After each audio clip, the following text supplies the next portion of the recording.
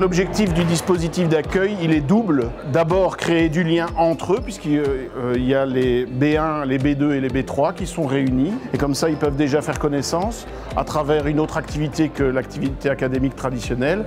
Et l'autre objectif, c'est de faire connaître euh, les infrastructures c'est bien qu'on soit mélangé avec des B1, B2 et B3. On a un contact avec euh, un peu tout le monde. Après, on est mélangé avec nos classes, donc on apprend à connaître tout le monde euh, dès le début. Je retiens surtout les liens que j'ai créés avec euh, les gens aujourd'hui. J'ai adoré. Je me suis sentie inclus et c'était chouette. Alors ce matin, on a invité les étudiants de préscolaire à découvrir l'école, tout en leur faisant découvrir aussi euh, notre groupe de développement durable. Alors il y a eu une activité où on a dû balader dans l'école, trouver les points positifs, les points négatifs, selon trois critères qu'ils nous avaient demandé. Il y avait le bien-être, l'infrastructure et la consommation. On a appris que le développement durable, ça avait un lien avec la santé et le bien-être, sur l'infrastructure aussi.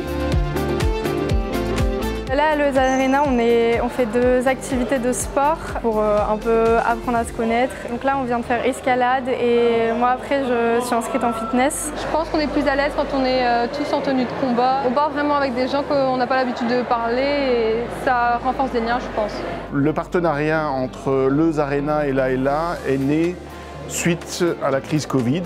Et suite à ça, on s'est dit, ben, on ne va pas en rester là on va euh, essayer de pérenniser notre collaboration, aussi en lien avec euh, la ville de Leuze. Et l'idée en plus, puisqu'il y a eu une action de la part de Leuze Arena vis-à-vis de nos étudiants, de faire un tarif moins élevé, de susciter le sport chez nos jeunes. Les trois sections euh, auront accès à cet abonnement, la section préscolaire, la section primaire et la section de professeurs dans le secondaire.